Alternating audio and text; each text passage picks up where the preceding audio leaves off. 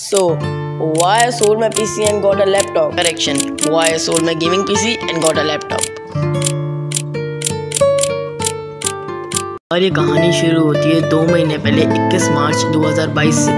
तो यार मैं सोच रहा था पीसी बेच दूँ। तो बेच दूँ?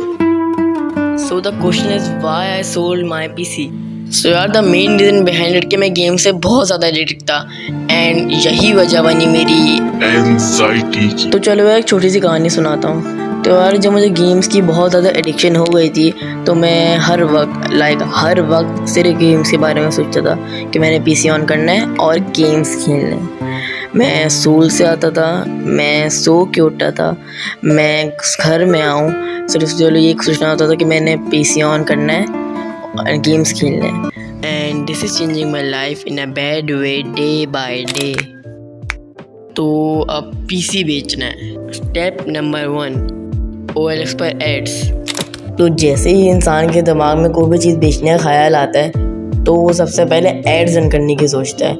And being an ordinary person मैंने भी यही सोचा। Step number two post on social media handles मतलब वो स्टीरियो टाइप्स नहीं होते A plus plus ten out ten minute condition step number three इंतज़ार करो। मुझे क्यों देख रहे हो? जाओ इंतज़ार करो। दो से तीन दिन बाद जो ना आपके पास एक सीरियस बायर आएगा। मतलब गारंटी नहीं है। कुछ कह नहीं सकते। तो यार the next segment is review किस चीज़ का? लैपटॉप का।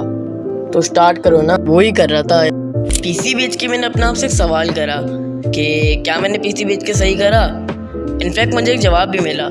हाँ मैंने पीसी बेच के सही करा क्योंकि इसके पीछे सेवरल रीजंस हैं जो मैं आगे डिस्कस करने वाला हूँ।